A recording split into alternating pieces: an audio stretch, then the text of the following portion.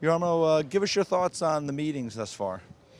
A lot of good discussion. Um, you know, games in good shape, and, and, and you know, scoring is up. Games are exciting. Lots of skill in display.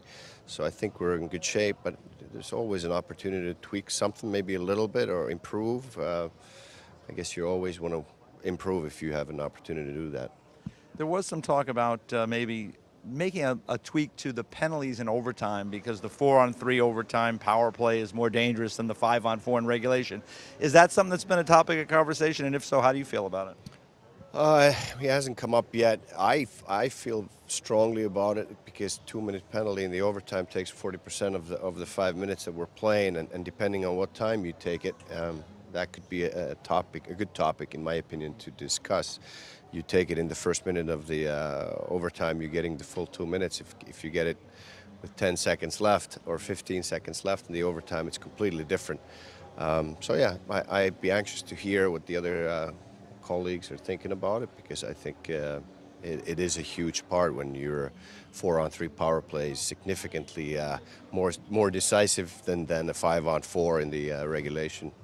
All right, you uh, you went in big at the trade deadline. You made some big moves for your team. Where do you think you guys are right now as you come down the stretch? Well, part, part, or biggest part of the reasons why we made the moves was that uh, I think it could be historically hard uh, to make the playoffs in the Eastern Conference. The, some of the projections are saying they could take as many as 99 points to make the playoffs. So that was the biggest reason. First, we have to try to make the playoffs and, and then talk about anything else. And, and uh, we fully realize the battle we're in and, um, and uh, the additions. Uh, we talked about it all year. If, if guys like that would be available, be good additions to our group. We haven't played our best hockey lately. Uh, I thought we took a step into the right direction last night against Winnipeg, where we played fairly well, but the result wasn't what we had wanted. So uh, just got to keep going after it. And tomorrow is another opportunity. We play the uh, the New Jersey Devils.